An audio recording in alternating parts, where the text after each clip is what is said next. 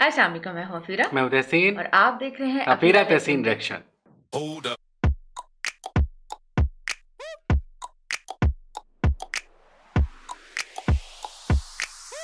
قیام یوٹیوب چینل کی ویڈیو ہمارے پاس آئی ہے اور ہمیں کہا گیا کہ ضرور دیکھیں اور آنکا جو کہ ہم نے بہت پہلے بھی اس چیٹ کو دیکھا ہوا ہے جو کہ سٹنگ رے جو پانی میں دیکھا ہوگا آپ نے ایک مچھلی ہوتی ہے اس طرح اس کی لمبی سی پوچھ ہوتی ہے اس کا نام بھی رہتا ہے اس کو کیونکہ شیپ ویسی ہے لیکن ہمیں لگتا ہے کہ جیسے کہ وہ وہ نہیں ہاں، ہوتی خلائی جو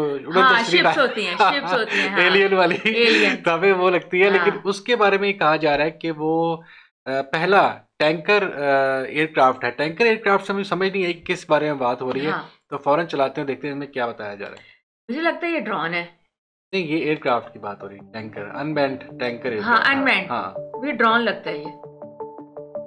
İşte karşınızda MQ-25 Stingray. Duruşundan, karizmasından özel bir şey olduğunu anlamışsınızdır. İnsansız hava aracı dediğimiz zaman dışarıya bakmaya işin açığı çok da ihtiyaç yok. Türkiye bu konunun cenneti diyebiliriz. Bayraktar TB2'den Anka-S'ye, Aksungur'dan Akıncı'ya hatta Kızılelma'ya kadar insansız hava araçlarının her alanında varız. Yani bu konuda masada mıyız? Evet, her masada varız. Ama size tanıtarak başladığım İHA biraz farklı. MQ-25 Stingray bir tanker İHA. Muhtemelen ilk Stingray. duyduğunuzda yok artık demişsinizdir ama doğru anladınız. Bu insansız hava aracı havada savaş uçaklarına ve başka insansız hava araçlarına yakıt ikmali yapıyor. Peki sizce bu mühendislik harikasını hangi ülke yapmıştır? Cevabı zaten hepiniz tahmin edersiniz. ABD. Kafir yapıyor abi.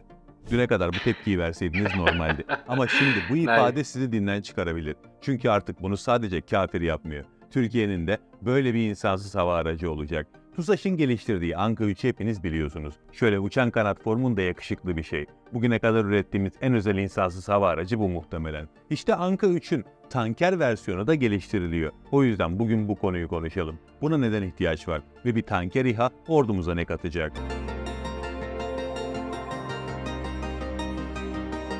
Anka 3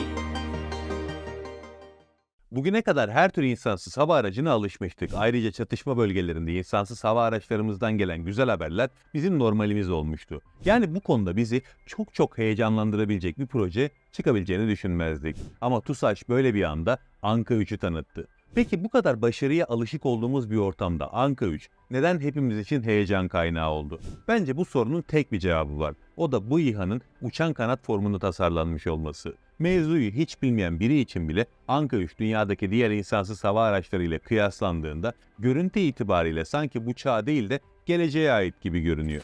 Tabii ki uçan kanat tasarımının amacı güzel bir görüntü elde etmek değil. Görünmezliğinin artması, sürtünmenin azalması gibi birçok avantajı var bu tasarımın. Ama aynı zamanda da mühendisliğin zirvesini gerekli kılıyor. Çünkü bu tasarımın kontrol edilebilmesi çok zor.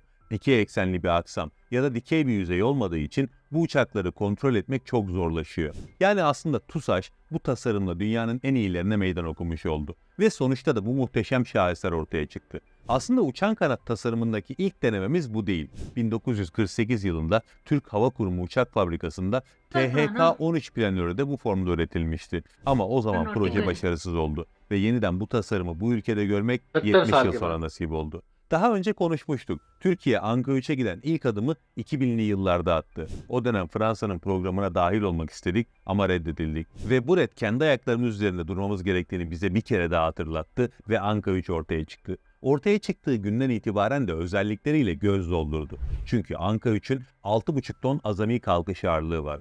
Faydalı yük kapasitesi 1200 kilogram. 40 bin feet servis irtifasına sahip ve yaklaşık 10 saat havada kalabiliyor. İlk etapta Ukrayna'dan aldığımız motorlarla görev yapacak ama daha sonrasında motoru da yerleşecek.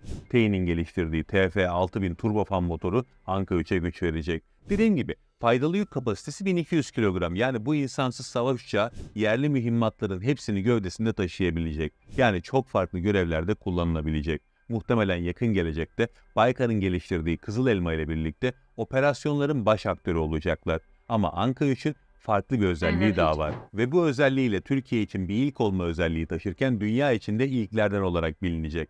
Anka 3 tanker İHA olarak görev yapacak. Tanker İHA alanında dünyada çalışan çok az devlet var. Ete kemiğe bürünmüş bir proje örneği vermek istesek de elimizde tek bir örnek var. O da başta bahsettiğimiz MQ-25 Stingray. MQ-25 ABD donanması için Boeing tarafından geliştirildi. Proje 2018 yılında başladı. 2019'da 2,5 saatlik ilk test uçuşunu yaptı. Ama esas önemli test bundan 2 yıl sonra yapıldı. 2021'de ilk tanker testini tamamladı ve dünyada bir ilk oldu.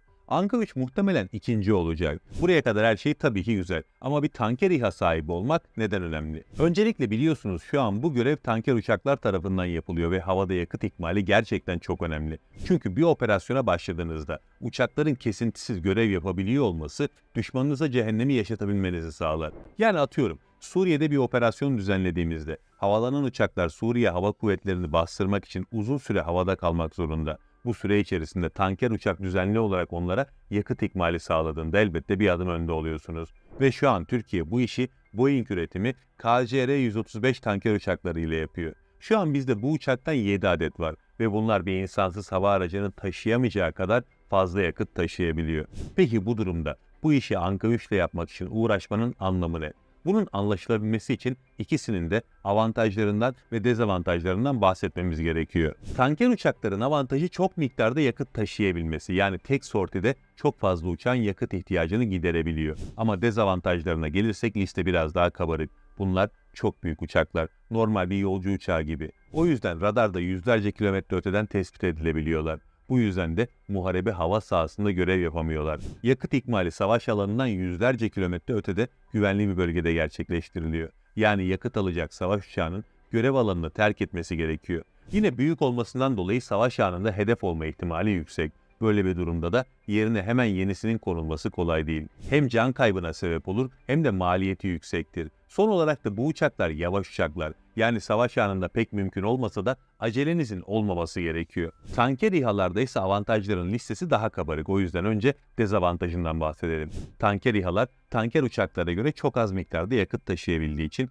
tek sortide sadece 2-3 savaş uçağına ikmal gerçekleştirebilir. Ama avantajları da çok fazla. Mesela radarda hem boyutlarından dolayı hem de tasarımları sebebiyle tespit edilmeleri çok zordur ve görevini doğrudan savaş sahasında yapabilir. Riskli bölgelere gidebilir. Bu yüzden de savaş uçaklarının yakıt alabilmek için görev bölgelerini terk edip gelmelerine gerek olmaz. Çatışma bölgesinin yüzlerce kilometre uzağına gitmek zorunda kalmamak ne demek zaten tahmin edersiniz. Ayrıca tanker İHA'ların kaybı halinde telafisi uçaklara göre çok daha kolay olur. En önemlisi de can kaybı yoktur ve bu araçlar tanker uçaklara göre çok daha hızlıdır. Haliyle çatışma bölgesinde oluşan ihtiyaç çok daha hızlı şekilde karşılanır. Yani neresinden bakarsanız bakın, Anka 3'ün üstleneceği tanker görevi Türkiye için çok kritik bir öneme sahip olacak. Ve yine bir açıdan daha baktığınızda işin önemi daha çok anlaşılıyor. Dünyada artık hava gücü için trend hayalet uçaklar. Yani radara yakalanmayan savaş uçakları ve insansız hava araçları yakın gelecekte savaşların galiplerini belirleyecek. Türkiye her ne kadar F-35 projesinden çıkarılsa da bu konuda olduğu yerde saymıyor. Şu an konuştuğumuz Anka 3 ve diğer insansız savaş uçağı projemiz olan Bayraktar Kızıl Elma düşük radar görünürlüğüne sahip olacak. Hepsinden de önemlisi milli savaş uçağımız yani Kaan da 5. nesil bir savaş uçağı olacak. Yani radar görünmezliğine sahip olacak ve bu uçakların yakıt ikmali şu anki tanker uçaklarla yapıldığında görünmezlikleri ortadan kalkmış oluyor. Çünkü tanker uçağın tespit edilmesi o an ikmal yaptığı savaş uçağının da tespit edilmesi anlamına gelecek. Ama bu yakıt ikmali Anka 3 gibi radar görünmezliğine sahip bir platformdan yapıldığında böyle bir sorunumuz olmayacak. Yani işin detayına indiğimizde çok kolay bir şekilde görebiliyoruz ki Anka 3'ün tanker görevi için geliştirilmesi bizim için aslında bir tercih değil, bir zorunluluk meselesi. Daha da doğru ifade etmek gerekirse bizim için demeyelim de gelecek nesillerimiz için diyelim. Çünkü başta dedim ya, Anka 3'ü bize çekici gösteren fütüristik tasarımı. Yani bize geleceği vaat eden görüntüsü. İşte bu aslında sadece görüntüyle alakalı değildi. Bu proje her açıdan bize, geleceğimize ciddi bir aydınlık vaat ediyor. O yüzden inşallah bir an önce envantere girer de biz de şöyle dünya gözüyle gözümüz kavararak Anka 3'ü izler ve bu kanalda anlatırız. Allah'a emanet olun. Allah'a emanet.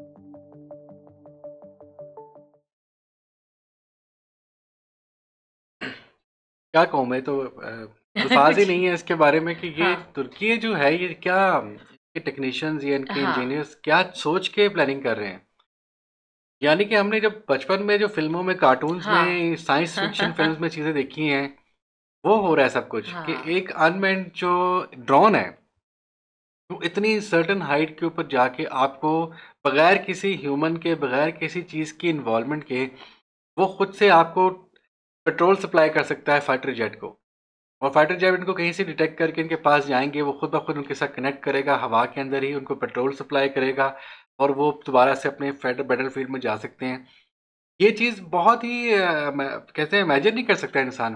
یہ واقعی میں فرسٹ میں نے فرسٹ ٹائم ایسی کوئی چیز دیکھی۔ کیوں ویرا؟ ہاں بالکل میں بھی حیران ہو گئی ہوں۔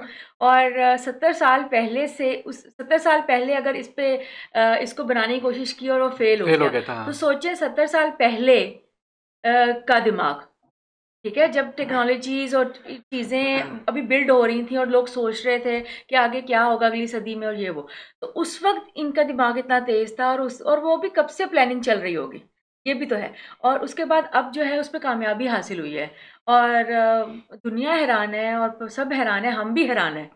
یہ دیکھیں نا کہ وہ جو ڈرون ہے وہ کیپیسٹی اس کی اتنی تھی کہ وہ اتنے سارے میزائلس کو کیری کر رہا ہے۔ اٹس مین کہ اس کے اندر اتنی کیپیسٹی ہے اتنا ویٹ اٹھانے کی۔ تو اتنے ویٹ کا اگر پیٹرول اٹھا لیا جائے اور وہ جا کے جیٹس کو جو وار زون کے اندر اگر آپ سپلائی کر دیں تو جیٹس کو ضرورت ہی نہیں واپس آنے کی۔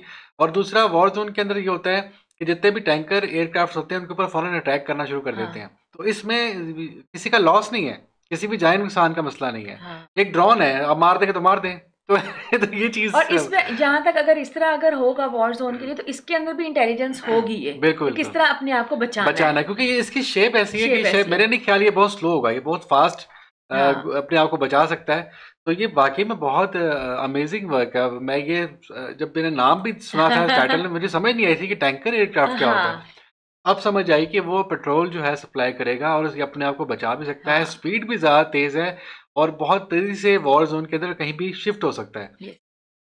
امیزنگ ویڈیو امیزنگ اچیومنٹ اگین اور ہمیشہ سے ہم لوگ حیران ہی ہوتے ہیں جو ترکیہ کر رہا ہے۔ ماشاء اللہ ہیڈس آف اگین اور تھینک یو سو مچ انہوں نے لنک شیئر کیا اس کا اوریجنل لنک ڈسکرپشن میں ہے ان کو ضرور لائک کریں سبسکرائب کریں اور پلیز ہمیں بھی لائک کر دیں سبسکرائب کر دیں اور ویڈیوز کو شیئر کیا کریں۔ ملتے ہیں اپنے اگلی ویڈیو کے ساتھ اب تک اپنا بہت خیال رکھیے گا اپنے گھروں محفوظ رہے گا۔ اللہ حافظ۔ اللہ حافظ۔